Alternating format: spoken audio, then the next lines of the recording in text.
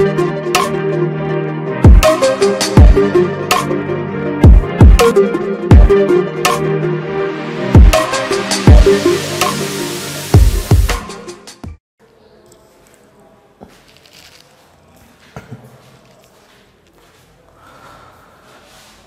শ্রেণির সুপ্রিয় শিক্ষার্থী বন্ধুরা, কেমন আছো সবাই?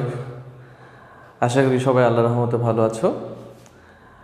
নভেশন অনলাইন এডুকেশনের পক্ষ থেকে তোমাদেরকে শুভেচ্ছা জানিয়ে আজকের ক্লাস শুরু করছি।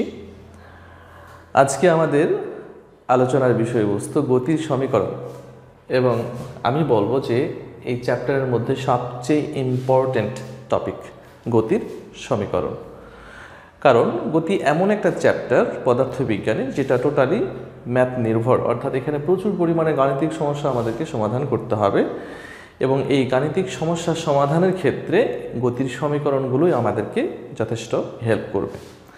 তো এই ক্ষেত্রে আমরা সেই গতির সমীকরণগুলো নিয়ে আলোচনা করব।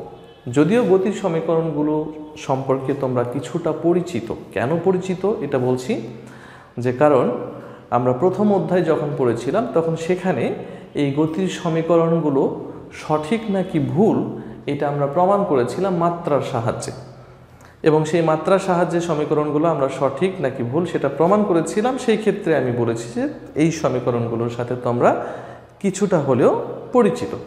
তো এখন আমরা দেখব যে এই সমীকরণগুলো আসলে কীভাবে তৈরি হয়েছে, কীভাবে গঠিত হয়েছে, সেই জিনিসগুলো আমরা প্রমাণ করব। তো প্রথমে আমি যে জিনিসটা প্রমাণ করব বা যে সমীকরণটা প্রমাণ করব সেটা হচ্ছে গতির প্রথম সমীকরণ। এই প্রথম সমীকরণটা কি ছিল, তোমাদের মনে আছে কি না আমি তারপর লিখে দিব অবশ্যই প্রথম সমীকরণের প্রমাণ। সমীকরণের প্রমাণ। প্রথম সমীকরণটা ছিল এইরকম। ভি সমান সমান কত? ইউ প্লাস এ টি এটা ছিল আমাদের প্রথম সমীকরণ। আজকে আমরা এই সমীকরণটা প্রমাণ করব। তো এখানে আগে থেকেই বলে রাখি যে ভি ছিল শেষ বেগ ইউ আদি বেগ এ ছিল কি ত্বরণ টি সময় তো মনে করলাম একটা বস্তু ইউ আদি বেগ নিয়ে এ সুষম ত্বরণে এ সুষম ত্বরণে টি সময় চলার পর ভি শেষ বেগ প্রাপ্ত হল। আমি আবার বলছি, একটা বস্তু ইউ আদি বেগ নিয়ে এ সুষম ত্বরণের টি সময় চলার পর কতটুকু বেগ প্রাপ্ত হয়েছে? ভি শেষ বেগ প্রাপ্ত হয়েছে। তাহলে এখানে বলো, বেগের পরিবর্তন কতটুকু হয়েছে? বেগের পরিবর্তন বেগের পরিবর্তন সমান সমান কত? ভি মাইনাস ইউ আবার দেখো, বেগের পরিবর্তনের হার, আমরা এইটার সম্পর্কে অবশ্যই জেনেছি, ত্বরণের সংজ্ঞা পড়ার সময়। বেগের পরিবর্তনের হার কত হবে? V minus U divided by কত? টি হার মানে আমরা বলেছি সময় দিয়ে ভাগ। আবার এই বেগের পরিবর্তনের হারকে কি বলা হয়? ত্বরণ বলা হয়। ত্বরণ এর সমান সমান কত? V minus U divided by কত? টি এখন দেখো, এখান থেকে আমরা কি করতে পারি? ভি মাইনাস ইউ সমান সমান এ টি লিখতে পারি আমরা। আর গণন করেছি। এর নিচে কিছু নেই মানে তো ওয়ান আছে। তাহলে ওয়ান আর ভি মাইনাস ইউ যদি আমরা গুণ করি, তাহলে ভি মাইনাস ইউ পাওয়া যাবে। এ এবং টি গুণ করলে এটি পাওয়া যায়। তাহলে এইবার আমরা এখান থেকে কি পাবো? ভি সমান সমান ইউটাকে ওই পাশে নিয়ে গেলে সেটা প্লাস হয়ে যাবে নিশ্চয়ই। এ, টি। এটাই ছিল আমাদের প্রথম সমীকরণ। একেবারেই সহজ। তাহলে গতির প্রথম সমীকরণ ভি সমান সমান ইউ প্লাস এ টি, এই সমীকরণটি আমরা প্রমাণ করলাম। এইবার আমরা গতির যে দ্বিতীয় সমীকরণ আছে, সেই দ্বিতীয় সমীকরণটা আমরা প্রমাণ করব। দ্বিতীয় সমীকরণ সমীকরণ প্রমাণ। দেখো, দ্বিতীয় সমীকরণের প্রমাণটা কেমন হবে? এই ক্ষেত্রেও আমরা একটু বলে নিতে পারি। সমীকরণটা হচ্ছে U plus V divided by two into T এটা ছিল আমাদের দ্বিতীয় সমীকরণ। তো ধরে নিই একটু যে ইউ আদিবেগ নিয়ে, ইউ আদিবেগ নিয়ে টি সময় চলার পর সেটা কত বেগ প্রাপ্ত হয়েছে? ভি শেষ বেগ প্রাপ্ত হয়েছে। যেহেতু সমীকরণের মধ্যে এ নাই, সুতরাং এখানে এটা আমরা উল্লেখ করব না। আবার এই সমীকরণের মধ্যে এস ছিল না, যার কারণে আমরা এখানে এস উল্লেখ করি নাই। বাট এই সমীকরণে এস আছে, তাহলে অবশ্যই আমাকে চিত্রের মধ্যে এসটা দেখাইতে হবে তাহলে আমরা বর্ণনাটা কীভাবে দিব? যে মনে করি একটা বস্তু, ইউ আদিবেগ নিয়ে টি সময় চলার পর ভি শেষ বেগ প্রাপ্ত হলো। আর যেহেতু সে চলছে, তাহলে অবশ্যই সে একটা দূরত্ব অতিক্রম করেছে। এই ক্ষেত্রে অতিক্রান্ত দূরত্বটাকে আমরা ধরলাম কত? এস অর্থাৎ অতিক্রান্ত দূরত্ব হচ্ছে কি? এস তাহলে আমরা এখানে কি বলব? যে মোট দূরত্ব এস এবং মোট সময় কত? টি তাহলে মোট দূরত্ব এসকে যদি মোট সময় টি দিয়ে ভাগ দেওয়া যায়, তাহলে আমরা কি পাবো? আমরা পড়ে এসেছি, সেটাকে বলা হয় কি? গড় বেগ। কি বলব সেটাকে? গড় বেগ। তাহলে দেখো, গড় বেগ কত হবে? গড় বেগ ভি বার দ্বারা প্রকাশ করেছিলাম আমরা। কত মোট দূরত্ব? ভাগ কত মোট সময়?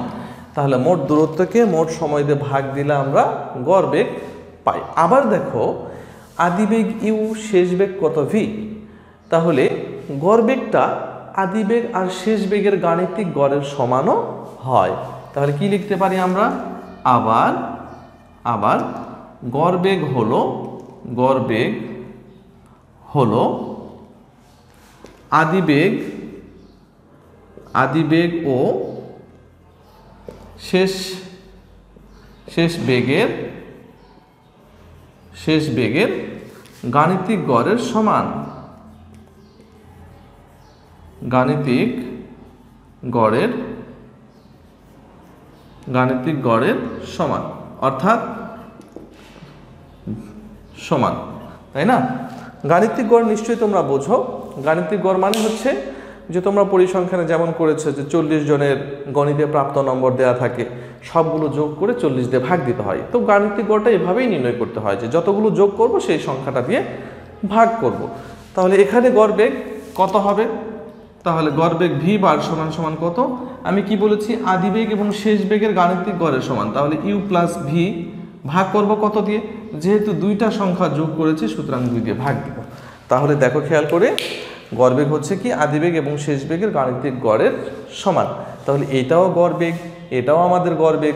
তাহলে এই ভি বারের মানটা আমরা এখানে বসায় দিতে পারি। তাহলে কি বলব?